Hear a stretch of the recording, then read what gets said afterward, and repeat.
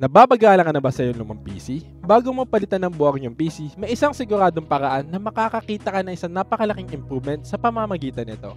Isang SSD or Solid State Drive. Sa panahon ngayon, ang isa sa pinakamabisang pamamaraan na pabilisin ang iyong lumang PC, mapa-desktop man o laptop ay ang pagpalit ng iyong boot drive na naka-install sa iyong hard drive. Ngunit sa dami ng klase ng SSD sa merkado ngayon, paano mo malalaman kung anong SSD na para sa'yo? Samahan niyo ako at talakayan natin itong bagong SSD na nilabas ni Kingston, ang Kingston NV1 Solid State Drive.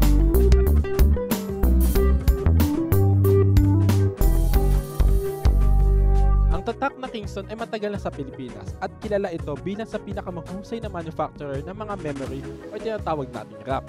Nakilala din sila sa mga USB drive or flash drive at isa sa mga produkto na ginawa nila ay ang solid state drive or SSD. Maliban sa storage capacity, ang pagpili ng isang SSD ay nakabase sa kanyang form factor at kanyang speed or bilis ng transfer rate. Meron tayong dalawang mas kilalang form factor na ginagamit. Ang kaparehan ng dating hard drive na gumagamit ng 2.5 in SATA form factor na katulad ng isang mobile hard drive at SATA SSD. At ang mas kilalang bagong M.2 NVMe PCIe SSD na ngayon mas kilalang NVMe SSD. Sa mga devices na lumabas mga 3 to 4 years ago or mas luma pa, malamang ang gamit nating SSD ay ang 2.5 inch SATA SSD. Wala pang M.2 na NVMe PCIe slot ang mga devices natin. Dahil sa limitasyon ng mga lumang devices, ang SSD na para sa iyo ay ang Kingston KC600 ito ay isang 2.5 inch SATA na SSD na may capacity na 256GB hanggang 2TB at may bilis na up to 550MB per second rates at 520MB per second write speed.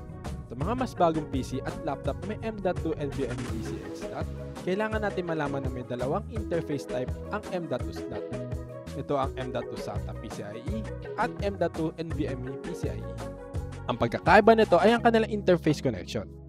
Ito ang itsura ng M.2 PCIe. Pansinin na meron itong dalawang puwang na tinatawag na M at B key.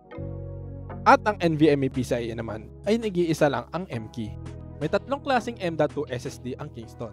Ito ang kanilang KC2500, A2000 at ang pinakabagong labas na NV1. Anong pagkakaiba nito?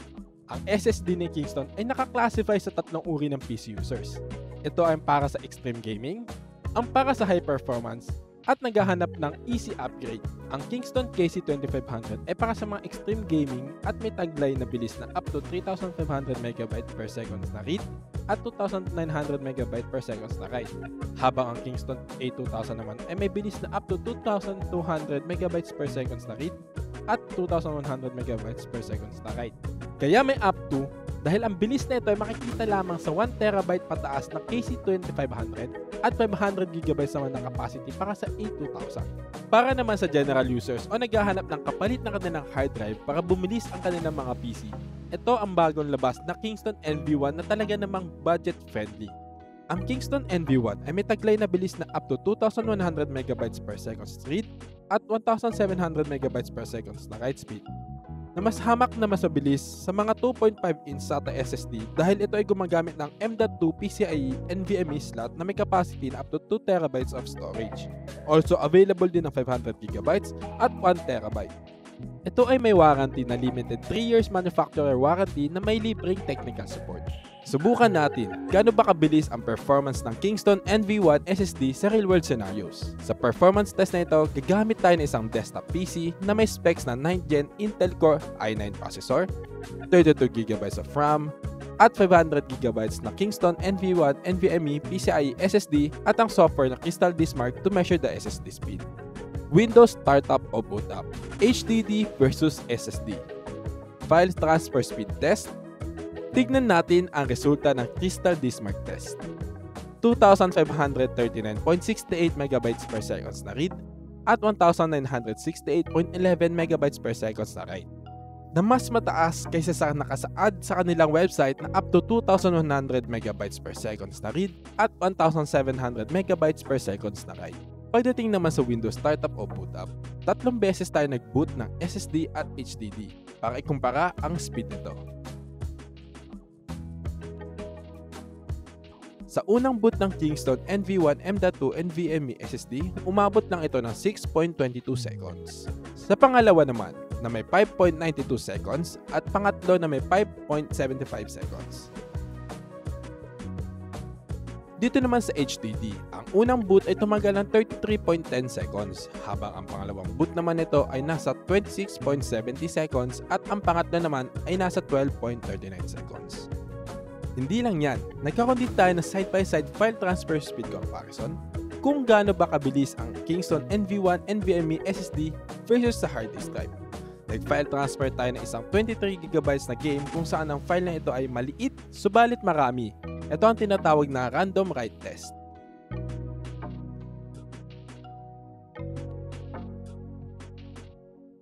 At ang resulta ay 4 minutes and 27.35 seconds para sa ating Kingston NV1 SSD at 5 minutes and 2.11 seconds naman para sa ating HDD. Ang pangalawang test na ito ay tinatawag na sequential write test kung saan gumamit ako ng isang 6GB na file at ang resulta naman nito ay 1 minute and 9.89 seconds sa Kingston NV1 SSD at 1 minute and 35.14 seconds sa HDD. Panghuli, gumawa naman tayo ng random read at sequential read test. At ang resulta sa random read test ay 3 minutes and 43.93 seconds para sa Kingston NV1 SSD at 4 minutes and 42.3 seconds naman sa HDD. Sa sequential read naman, ang Kingston NV1 N.2 NVMe SSD ay natapos sa bilis ng 1 minute and 10.22 seconds at ang HDD naman ay 1 minute and 37.4 seconds. Ngayon na napag-usapan natin ang tungkol sa iba't ibang klaseng produkto na SSD na hatid ng Kingston, sure ako mas makakapili na tayo ng SSD na para sa'yo. In terms of pricing, ang Kingston NV1 ay ang pinaka-affordable na offering kumpara sa iba't ibang modelo ng Kingston SSD. Check out our website at pcx.com.ph and download the price list. And don't forget to like and subscribe, hit the notification bell para updated ka sa mga susunod naming videos. Oops! Teka lang, ang pamagat natin ay SSD na para sa'yo, di ba? Well, kung gusto mo manalo ng isang Kingston NV1 500GB SSD, make sure to share this video on your Facebook timeline and set it to public with the hashtags. Hashtag Kingston is with you, hashtag PCXTV, at hashtag PCXpressLive. At huwag kalimutan mag-post ng inyong share screenshot as a comment sa original post nitong video sa PC Express Facebook page. Ako nga pala si Rems, hanggang sa muli.